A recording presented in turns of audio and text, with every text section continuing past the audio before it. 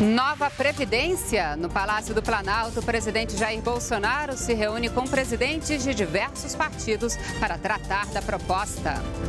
A maior aeronave militar já produzida no Brasil se prepara para entrar em operação. É o KC-390 da Embraer. E veja também, hospitais universitários federais vão receber mais de 100 milhões de reais para reestruturação e manutenção das unidades em todo o país. Essas e outras notícias você acompanha agora. E para participar, basta acessar o bate-papo ao vivo no YouTube ou usar hashtag TVNBR nas redes sociais. O repórter NBR começa agora.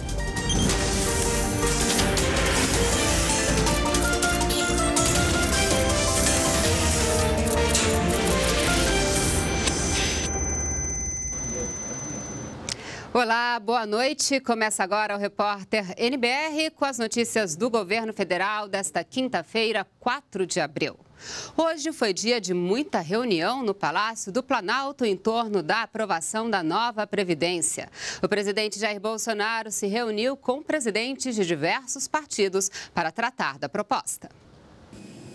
Menos de 12 horas após desembarcar de Israel, onde esteve para uma visita oficial de quatro dias, o presidente Jair Bolsonaro comandou uma série de reuniões com presidentes de seis partidos políticos. O tema a nova Previdência. O presidente do PSD, partido com 36 deputados na Câmara, afirmou que vai trabalhar pela aprovação da proposta. Haverá bastante empenho da direção do partido e também do líder, porque tem essa convicção pessoal, depois ele pode dizer, para que as reformas, em especial a da Previdência, seja aprovada. Prioridade do governo, a nova Previdência está em análise na Comissão de Constituição e Justiça da Câmara dos Deputados. Nos últimos dias, o ministro da Economia, Paulo Guedes, esteve no Congresso Nacional duas vezes para tirar dúvidas de deputados e senadores sobre a proposta. O ministro-chefe da Casa Civil, Onix Lorenzoni, também tem mantido encontro com parlamentares. A meta é aprovar a nova Previdência neste primeiro semestre. O presidente do PSDB, legenda com 30 deputados federais, garantiu apoio à proposta. Essa é a primeira das reformas estruturantes que o Brasil precisa. É uma reforma necessária, importante. O PSDB tem compromisso com ela, mas dentro desse foco de justiça social e fiscal. E durante toda a tarde, o presidente recebeu presidentes de outros partidos, como o DEM, o PRB e o MDB. A CM Neto, que é prefeito de Salvador e presidente do DEM, disse que a proposta de reforma da Previdência está alinhada com os objetivos do partido. Esse encontro marca o início de um novo momento, onde o diálogo vai ser sempre uma constante na relação entre o partido e o governo, de maneira transparente, leal, onde a gente tem a possibilidade de colocar as nossas preocupações e, é claro, que a gente possa construir as pontes com o objetivo fundamental de garantir o andamento dessa agenda que tem tudo a ver com a Câmara e com o Senado, com a aprovação das reformas e com a contribuição que a boa política pode dar para o futuro do Brasil. E sobre esse encontro do presidente Bolsonaro com presidentes de partidos, o ministro-chefe da Casa Civil, Onix Lorenzoni, disse que o governo vai dialogar e respeitar os parlamentares e reafirmou que a nova Previdência é uma necessidade do país. O presidente ficou muito satisfeito, eh, todos os eh, presidentes de partido eh, reiteraram a disposição de ajudar eh, a construir uma relação que seja muito positiva entre o governo e o parlamento.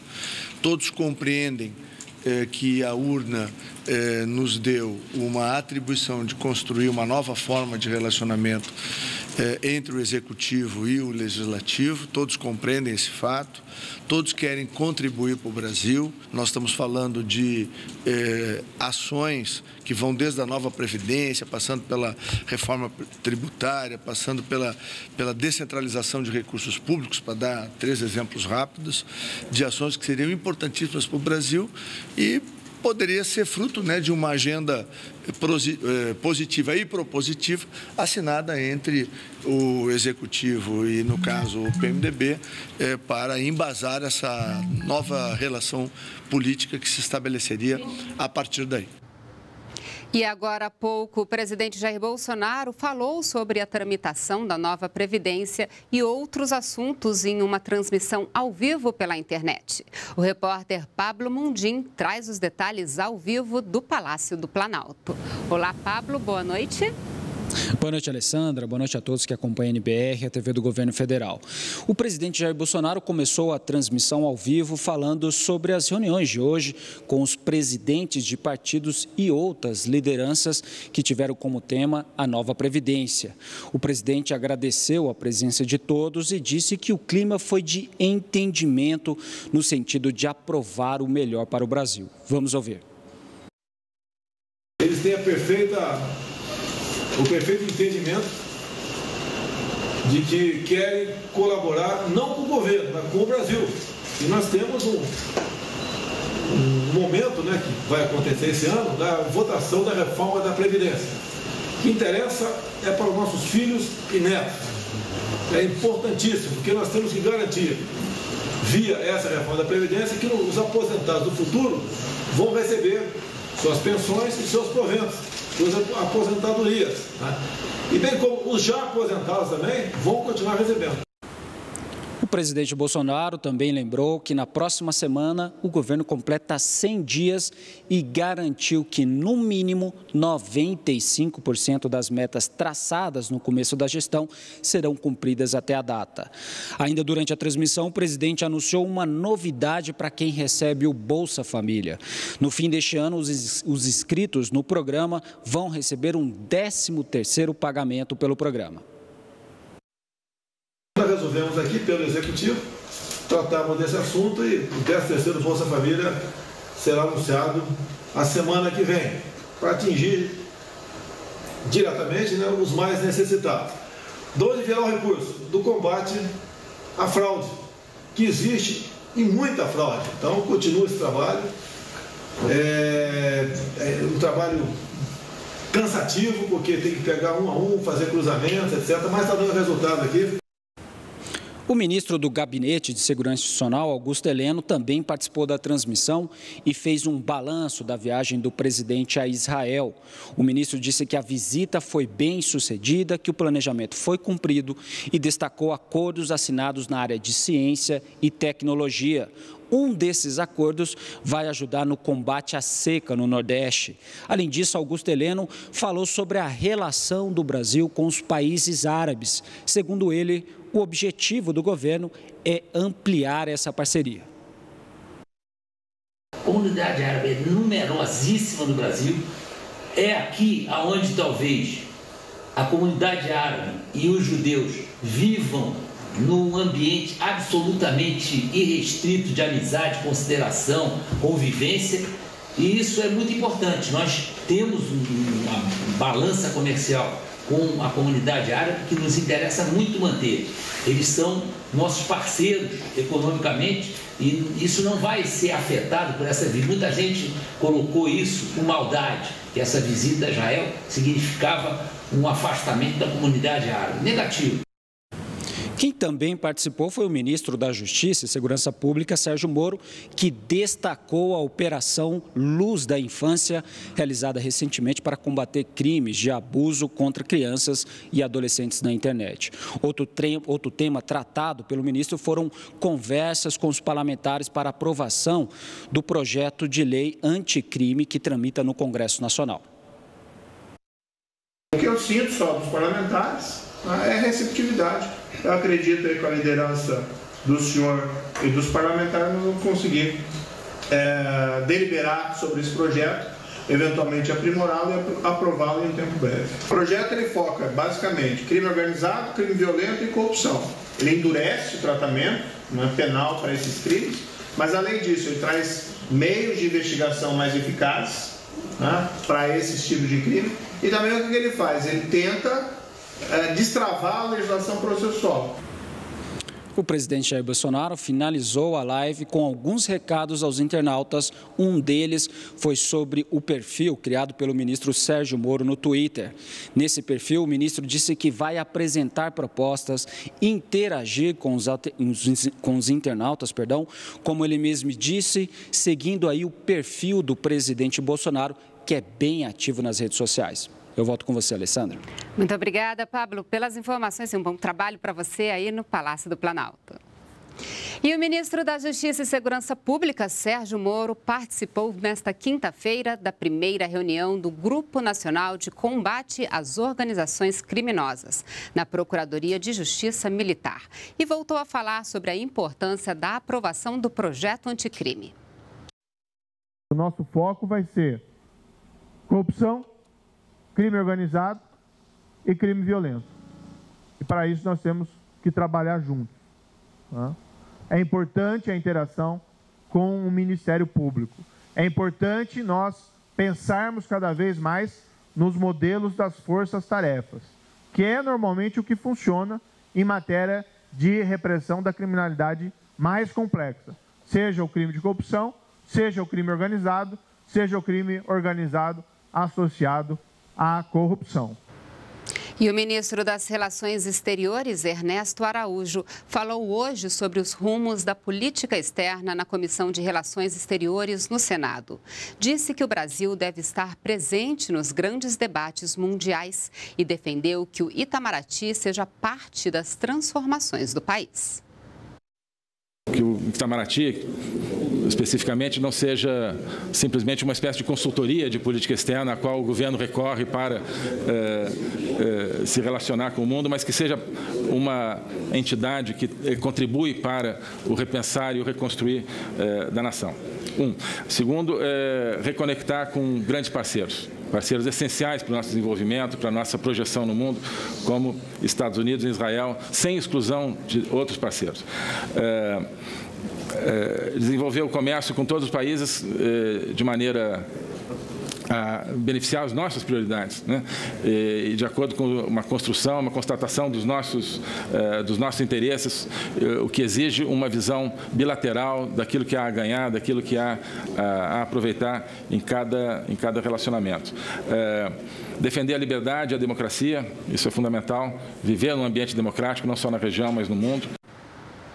Investimentos em infraestrutura com geração de emprego e aumento da produtividade. Amanhã será realizada mais uma etapa do processo de concessões. Dessa vez vão ser terminais portuários. A ideia é dar maior agilidade no transporte de combustíveis pelos portos da região norte do país. No total, os investimentos somam mais de 400 milhões de reais.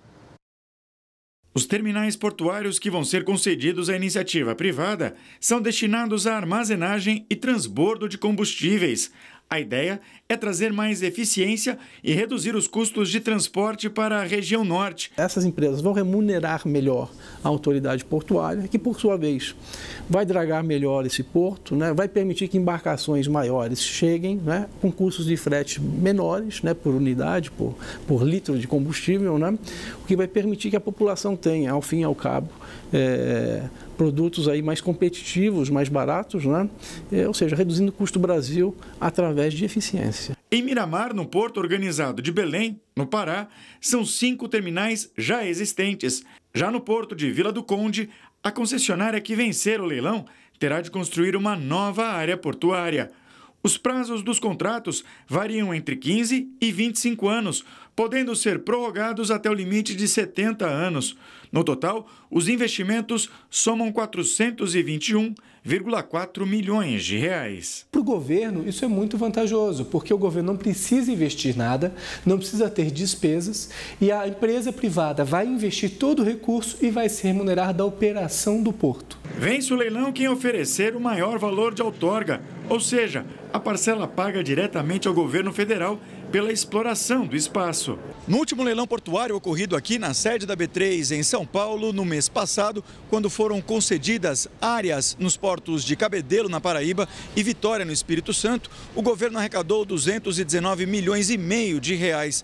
A expectativa é que valores altos como esse voltem a se repetir no leilão dos portos do Pará. A gente espera que continue é, trazendo é, sucesso ao país, até porque é ali a porta de entrada e de saída das nossas riquezas, os portos. E precisamos avançar bastante na modernização do setor portuário. O próximo passo dos leilões portuários é trabalhar com áreas destinadas ao granel sólido, principalmente de produtos agrícolas in natura, como soja e outros tipos de grãos.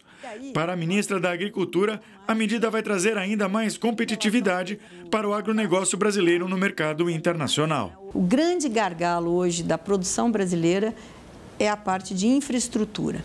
Então, se o, hoje os portos hoje eles estão é, abarrotados e precisa de investimentos que o governo não tem esses recursos, o governo tem que regular e não ser o dono do porto. 21 milhões de dólares para preservar o cerrado e, ao mesmo tempo, aumentar a produtividade dos pequenos agricultores que trabalham no bioma. É o projeto Paisagens Rurais, com foco na sustentabilidade e preservação aumentar a produção agrícola e, ao mesmo tempo, proteger a natureza. Esse é o objetivo do projeto Paisagens Rurais, lançado pelo Ministério da Agricultura, Pecuária e Abastecimento.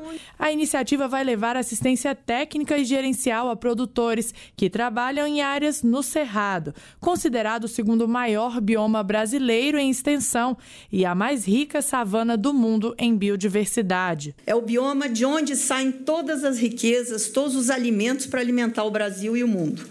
E ele é que precisa, então, dessa atenção.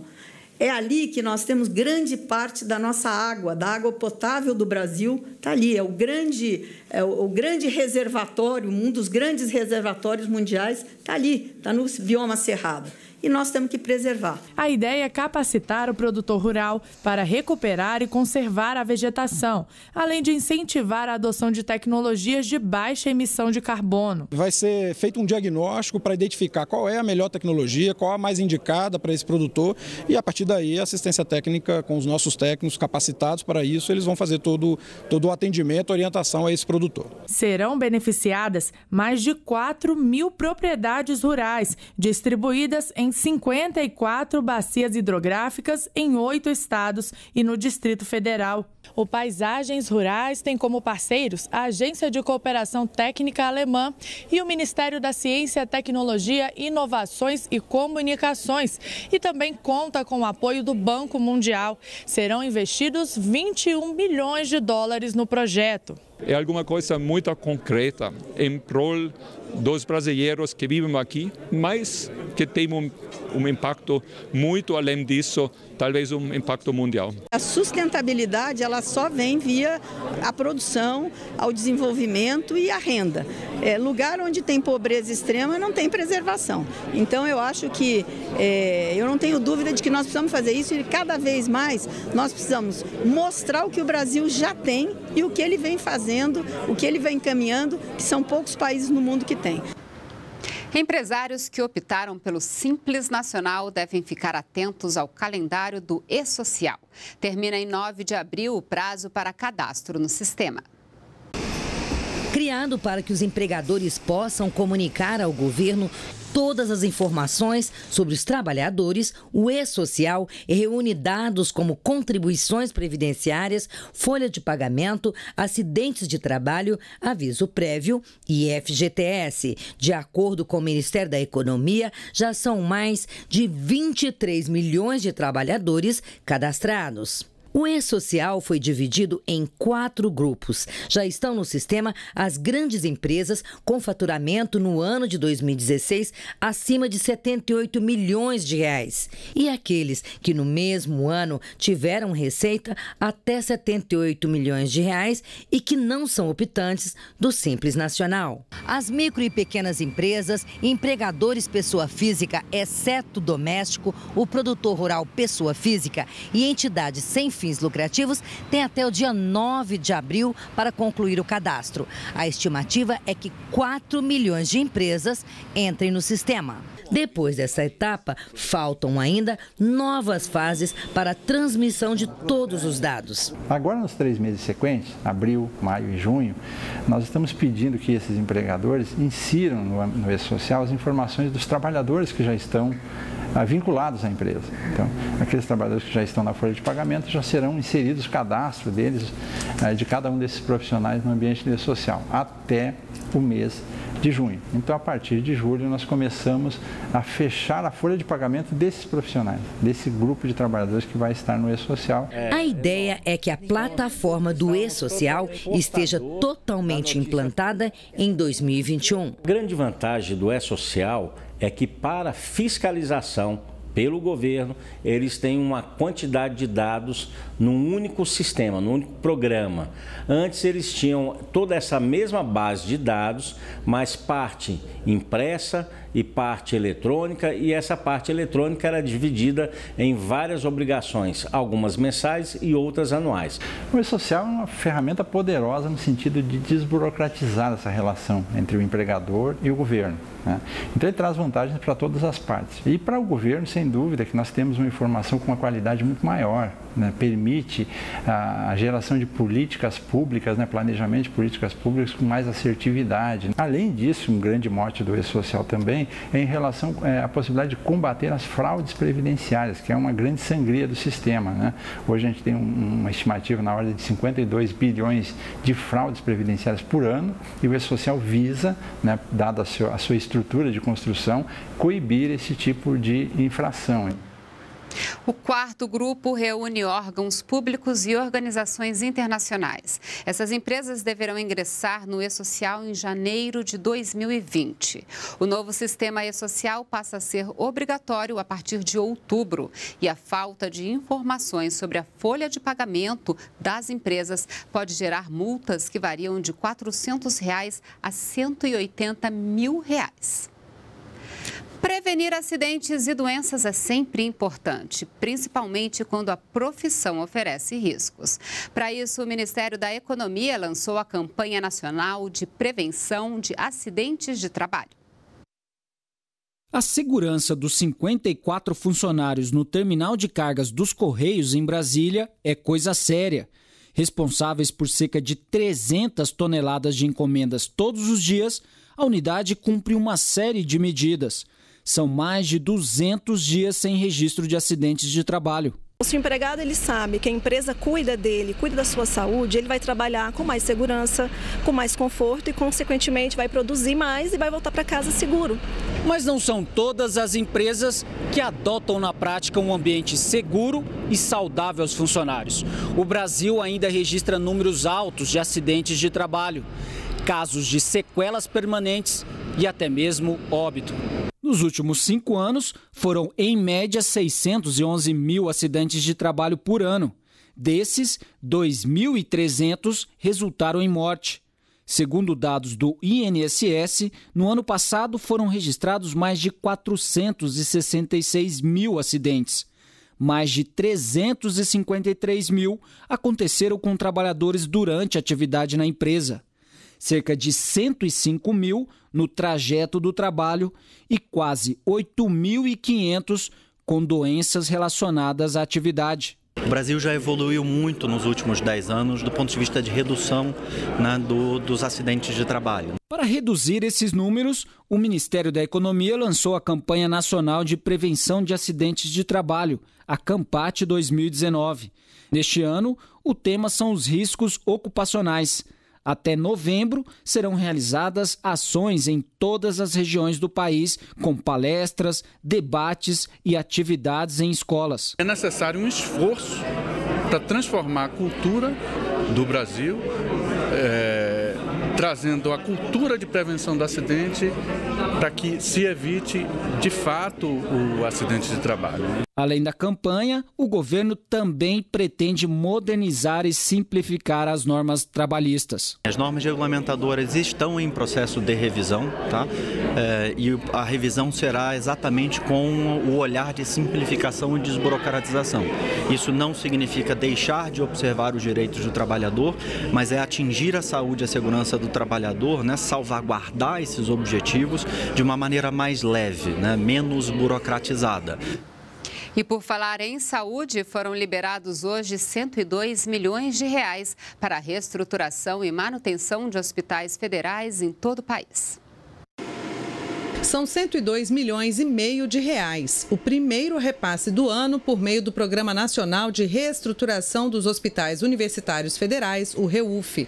A dotação foi publicada no Diário Oficial da União, sendo 79 milhões e meio de reais para custeio de materiais e cerca de 23 milhões para investimentos. O dinheiro do Programa Nacional de Reestruturação dos Hospitais Universitários Federais é usado para compra de medicamentos e também de equipamentos e para manutenção e reforma. Para se ter uma ideia da importância desse recurso, aqui no Hospital Universitário de Brasília, ele representa a 50% do que o SUS, o Sistema Único de Saúde, repassa por ano à instituição medicamento e insumos para a saúde, material para a saúde, né, é, é, de uso geral, né, porque por se tratar de um hospital ah, que tem 60 mil metros de área, oito prédios, 2.400 trabalhadores e 20 mil atendimentos ambulatoriais por mês, né, consome-se muito. Nós estamos recebendo, através dessa portaria, uma descentralização de 2,2 milhões para o hospital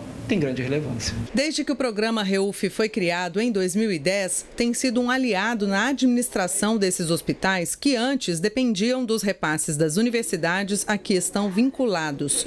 40 hospitais universitários federais recebem recursos do REUF vindos dos Ministérios da Educação e da Saúde. A maior aeronave militar já produzida no Brasil, com capacidade para carregar 26 toneladas, o KC-390 se prepara para entrar em operação. Enquanto isso, desperta os olhares curiosos do público na LAAD, a maior feira de defesa e segurança da América Latina. Um gigante do céu, assim pode ser definido o avião KC-390 a maior aeronave militar que já foi produzida no Brasil. Para se ter uma ideia, ele pode voar carregando 26 toneladas. Além dos passageiros, materiais como veículos blindados, aviões desmontados, helicópteros, armamentos e mantimentos podem ser transportados no KC-390. O tamanho não é a única vantagem da aeronave. As novidades tecnológicas também chamam a atenção.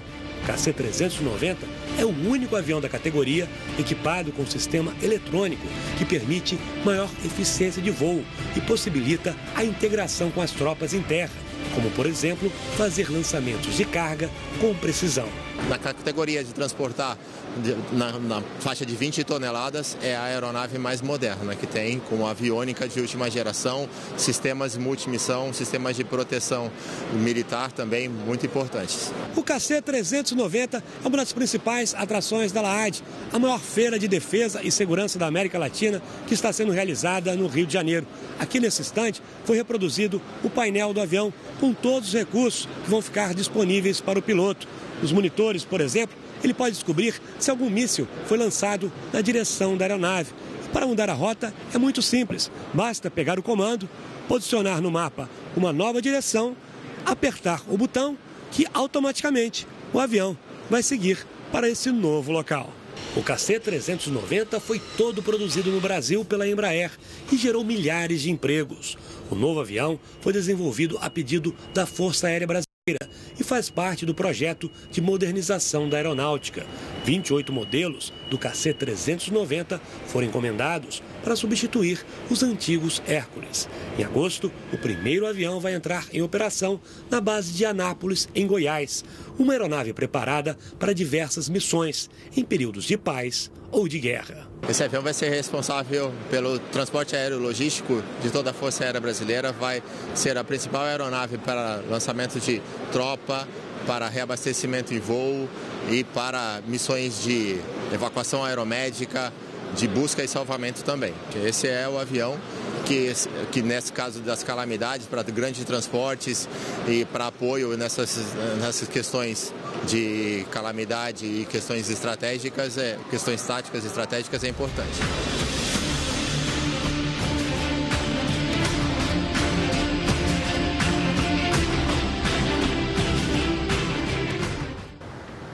Uma grande aventura e muitas histórias. A equipe da TV NBR esteve na Antártica a convite da Marinha do Brasil e conta pra gente como foi a volta para casa.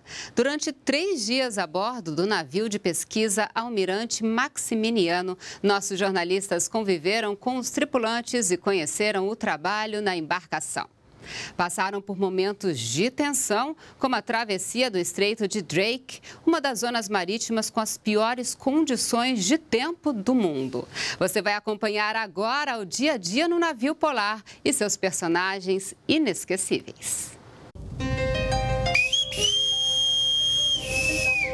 Almirante Maximiano, bom dia. Que Deus continue iluminando nossa proa. O navio encontra-se navegando nas proximidades da Terra do Fogo. A pressão atmosférica é de 1009,3 HPA. A temperatura do ar é de 8 graus Celsius. Temperatura da água de 7 graus Celsius. Ao toque da alvorada, a tripulação do navio Almirante Maximiano começa o dia. A embarcação está concluindo mais uma missão de apoio ao Programa Antártico Brasileiro. Nossa equipe, que chegou à Antártica de avião, pegou carona no retorno do continente gelado. Oportunidade para conhecer o tio Max, como é conhecido entre os tripulantes do navio integrado à Marinha há 10 anos.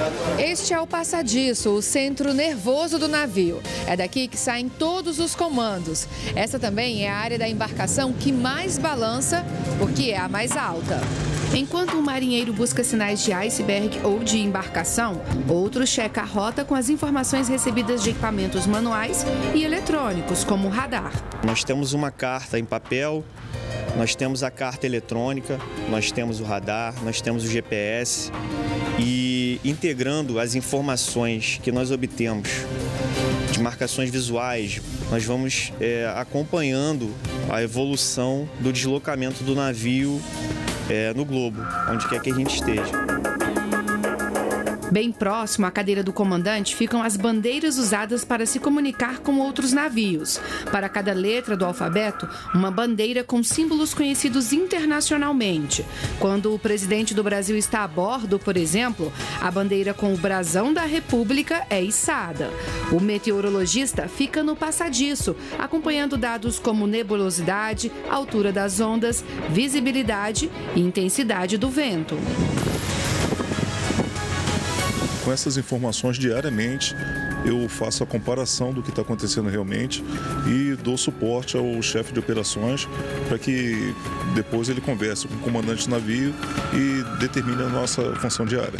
Nós estamos atravessando o Estreito de Drake, que tem cerca de mil quilômetros e é a ligação natural entre os oceanos Atlântico e Pacífico. Esse aqui é considerado um dos mares mais revoltos do planeta. Durante a nossa travessia, nós enfrentamos ondas que variam de 2 a 4 metros de altura.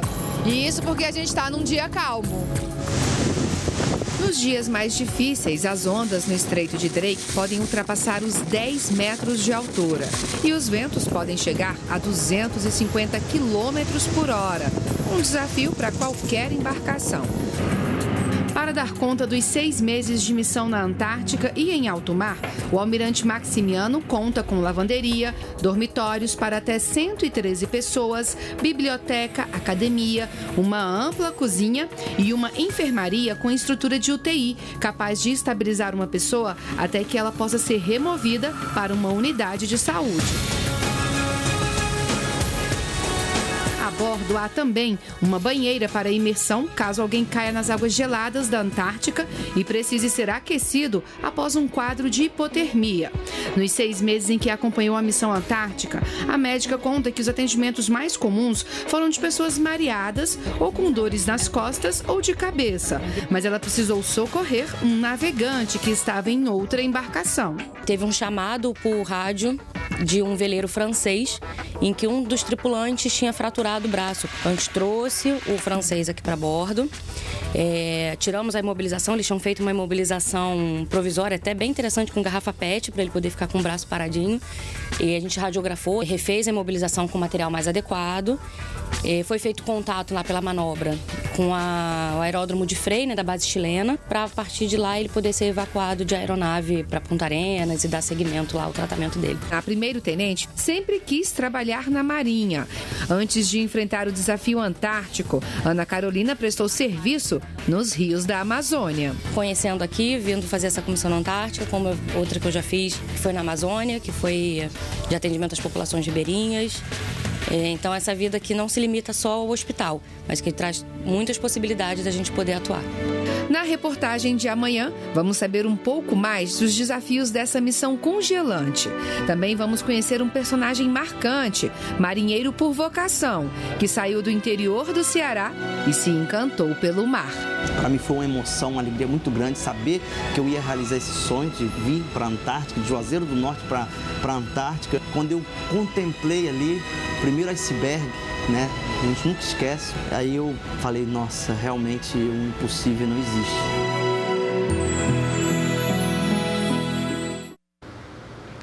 Nós ficamos por aqui. Toda a nossa programação você acompanha ao vivo pelo site da NBR e pelo canal no YouTube. Acesse também o nosso perfil no Twitter e você pode ainda mandar sugestões de reportagens e dúvidas sobre programas e ações do governo federal para o nosso WhatsApp. Então, anote aí, é 61998678787. Uma boa noite para você e continue com a gente na NBR, a TV do governo federal. out.